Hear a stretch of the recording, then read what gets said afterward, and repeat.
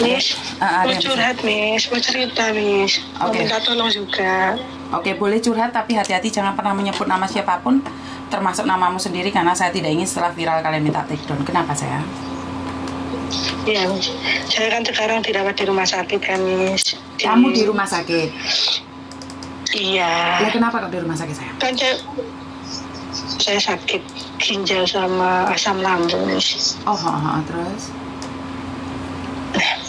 Saya kan baru dua bulan Miss, di sini. Dulu, dua hari nyampe Hong Kong.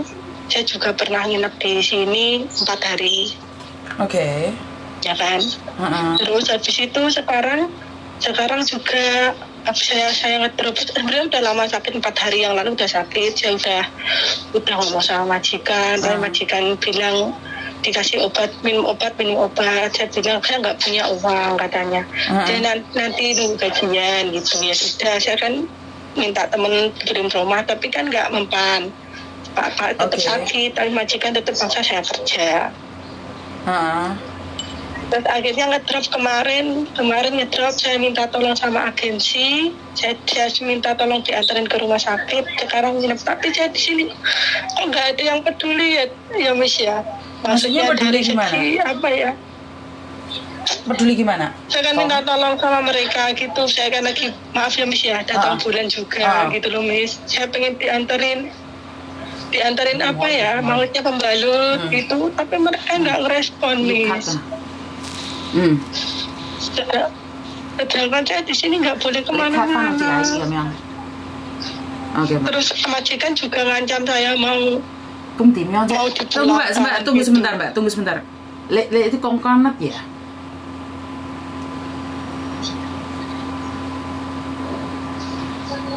梗系唔系啦，叫佢填 form 咯，一样填 form，跟住你俾佢咧 cut 嗰啲好似系俾阿姨咁样咯，一样噶，唔可以入翻嗰啲我哋个资料嘛。嗯，好啦，拜拜。啊terus mbak, sorry. Ah, Hmm, terus Saya kan juga pengen pengen tahu sebenarnya saya itu sakit apa. Cuma saya kan tidak bisa bahasa, Miss. Hmm, hmm, hmm, hmm. Sedangkan dokternya ngomongnya pakai bahasa Kantonis dan bahasa Inggris. Saya bisanya bahasa Mandarin. Hmm. Gimana, Miss? Saya pengen tahu lebih lanjut gitu loh, Miss. Majikannya udah marah-marah. Soalnya kan saya emang, ya memang kesalahan saya juga. Soalnya kan dua, dua bulan di sini masuk rumah sakit dua kali dan juga harus opname. Terus siapa yang kamu katakan tidak peduli padamu, Dok? Ya, Jun majikan pun saya sampai sekarang nggak ngabarin saya, Miss. Maksudnya gimana mau tanya gimana keadaannya gitu enggak mungkin mereka udah kecewa soalnya saya kan selalu ngeluh sakit miss Lah, waktu di Indonesia kamu medical itu gimana, Dok? medical fit semua Kamu potongan nggak? Potongan tiga bulan Potongan tiga bulan. Terus PT mu peduli nggak? Kamu di sini dua bulan. Kan masih bayar PT tuh kan? oh, oh. iya oh. Mm-mm. enggak enggak ada enggak ada peduli mereka Oke, maji kamu nggak peduli, agenmu nggak peduli, maji kamu nggak peduli. oh, oh. Terus ah, kamu bekerja di majikan selama kerja itu berapa lama? Selain masuk rumah sakit? dua bulan dua selain masuk rumah sakit Hmm.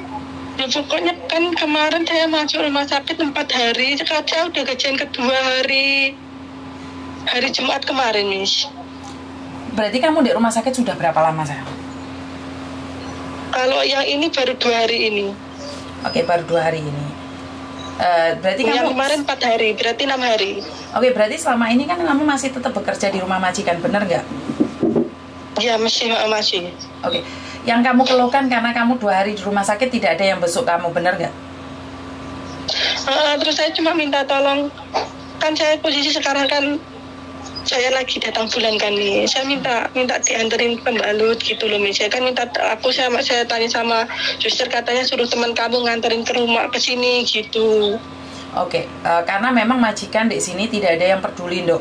Jangan kan kamu, saya sendiri masuk rumah sakit dua bulan pun kadang-kadang keluarga kita tidak peduli, karena di Hong Kong tidak bisa dibesuk. Sekarang nggak apa-apa, kamu butuh apa, tak belikan, tak anterin. Beneran Miss? Loh, le, kamu nggak percaya matiin teleponnya sayang? Oh, enggak, bukan gitu mas soalnya saya nggak bisa nggak bisa kasih mis apa-apa Apakah saya meminta apa-apa dari kamu sayang? Enggak enggak Ayolah. Makanya kamu minta apa sekarang? Ntar tak suruh orang beliin, tak suruh orang nganterin ke kamu. Kamu minta apa sekarang? Minta apa? Minta susu, minta roti, minta sikat cuma minta pembalut mis minta buah, minta apa lagi sayang? Enggak cuma minta pembalut benar kalau bisa sama itu apa cacasan aja mis itu tok mis enggak lah enggak Cacasan enggak apa, saya, Mis. Nggak apa-apa, soalnya saya butuh pembalut mis Gak apa-apa, tak beliin sayang. Tisu kamu mau nggak sayang? Tisu. bener mis maaf banget saya enggak mau saya cuma butuh butuh pembalut mis bener-bener saya butuh pembalut Bukan, mis kamu butuh apa Bener. aja biar sekalian aku anterin saya. Nggak apa-apa. Miss Yuni bilang nggak apa-apa. Kenapa? Satu hal. Hadirnya Miss Yuni di sini, di YouTube sama di Facebook, bukan cuma buat konten saja. Kalian bisa nelpon saya, saya juga senang. Kalau saya bisa memberi yang terbaik buat kamu, kenapa tidak? Karena kamu tidak bisa mengharapkan majikanmu untuk memberi kamu. Kamu juga tidak bisa memberi, mengharapkan agent untuk memberikan padamu. Kalau Miss Yuni bisa, tak kasih no sayang. makasih banyak mis saya yang pasti cuma minta pembalut sama tisu nggak apa-apa mis saya di sini juga nggak ada tisu Bukan, sekalian Jangan kamu aja, ngomong. Dok. Bukan, sekalian kamu ngomong. Kenapa? Saya tidak suka memberikan ada sesuatu yang kurang. Saya lebih suka memberi apa yang kamu mau. Kamu bilang aja, kalau aku bisa tak kasih, kalau nggak bisa nggak tak kasih. Kamu mau apa gitu aja? Buah?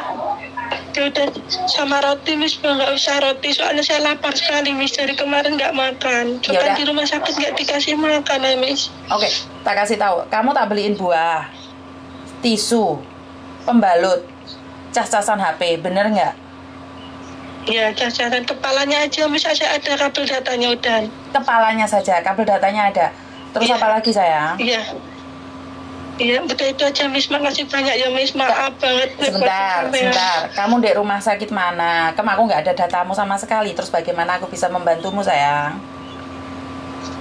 Eh, saya nggak bi- nanti nanti saya takut kalau saya nyebutin nanti ada yang anu nggak tersinggung nggak ya Miss ya? Loh, masuk rumah sakit kok tersinggung? Rumah sakit mana gitu aja? Kamu habis itu WhatsApp ke aku, Cakuan.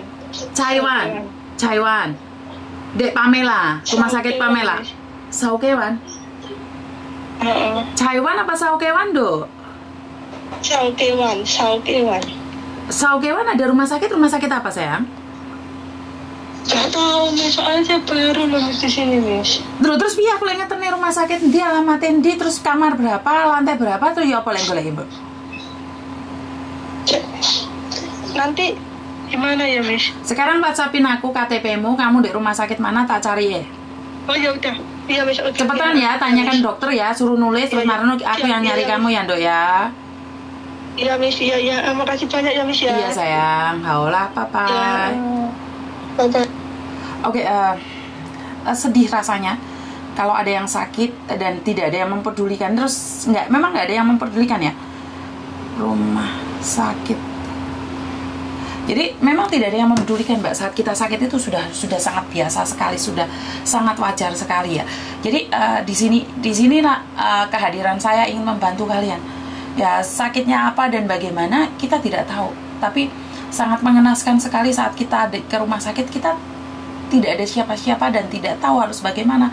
Minta kiriman walaupun cuma cas-casan HP tidak ada yang bisa membantu kita itulah sengsaranya kalau hidup di luar negeri sakit di luar negeri. Kenapa saya selalu bilang kalau kamu tahu bahwa keadaanmu tidak memungkinkan untuk bekerja di luar negeri sebaiknya jangan memaksakan diri untuk bekerja di luar negeri. Karena hanya orang-orang tangguh hanya orang-orang kuat saja yang mampu bertahan di negeri beton ini. Jadi bukan cuma hanya di negeri beton termasuk di negeri sakura termasuk di Taiwan di mana pun. Jadi kita itu orang-orang tangguh yang sudah dipilih sama Tuhan untuk memperjuangkan keluarga kita yang ada di Indonesia.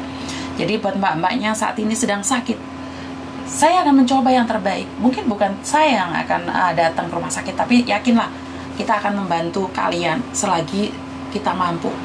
Jadi buat mbak-mbaknya di luar sana nggak perlu takut, nggak perlu sedih. Saya ada selagi saya mampu, selagi saya bisa. Jadi uh, saya tidak bilang uh, bahwa saya bisa menyediakan segalanya tidak saya juga manusia biasa saya butuh waktu untuk semuanya. Jadi terima kasih kurang lebihnya saya minta maaf dan wassalamualaikum warahmatullahi wabarakatuh. Berkat Tuhan mengalir atas hidup kita semua semoga semua makhluk hidup bahagia dan terima kasih. Bye bye